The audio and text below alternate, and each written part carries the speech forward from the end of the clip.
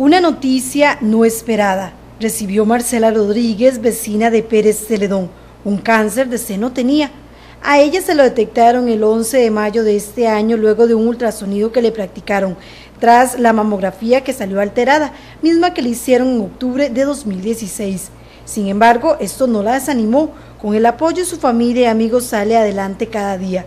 Tras la pronta atención, el cáncer fue erradicado y está recibiendo el tratamiento de quimioterapia en el Hospital Calderón Guardia, donde afirma que la atención es de calidad pese a la huelga.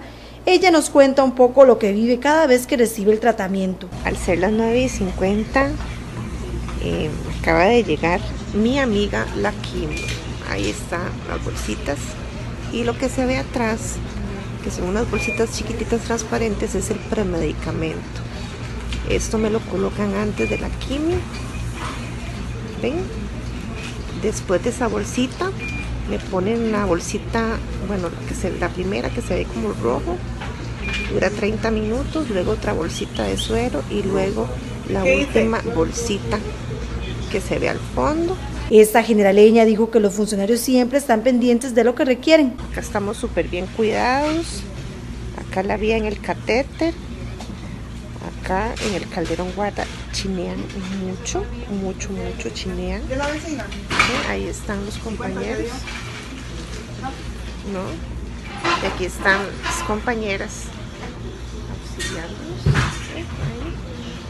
Siempre pendiente de nosotros.